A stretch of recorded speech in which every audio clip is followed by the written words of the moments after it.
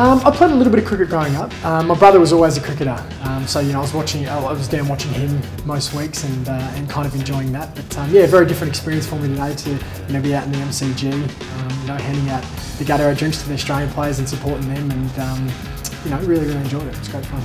More of a batsman, I'd have to say. I mean, I didn't play a lot of cricket growing up, and it was always a lot funner with the bat in hand. So uh, I uh, yeah, I was always uh, I was always trying to get grab the bat and uh, the lucky thing for me is he was a bowler, so he was happy to bowl, and uh, I was happy to bat. To have lots of fun.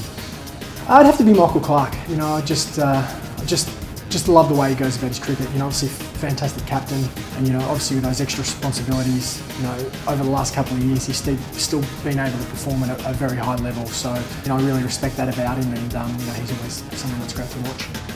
It'd have to be one of the most most important things um, to performing without a doubt. I know that uh, when we come along to training each morning, you know, we'll, we'll measure measure our hydration, um, you know, to see, um, you know, if the guys need a top up on, on you know some Gatorade or whatever it is. Um, and then we'll also do that every game day as well. When you know when we get to, to the football ground, um, we have a dietitian there that'll work with us to make sure that our hydration levels are right up, um, because they know how important that is to uh, performing well. So um, you know, that's, that's something that I, I spend and focus a lot of time on making sure that I'm doing that well.